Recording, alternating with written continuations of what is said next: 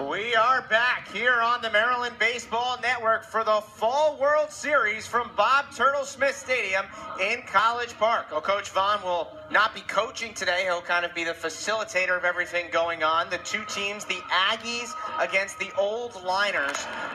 2 0. Line drive into center field, a base hit, and the freshman Richie Schiekofer is on with a leadoff single.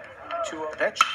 Line drive into right, lands in front of Bednar for a base hit, and Richie Schiekofer is two for two. 1 0 to done.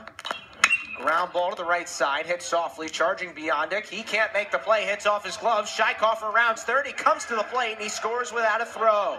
And the old liners take a 1 0 lead.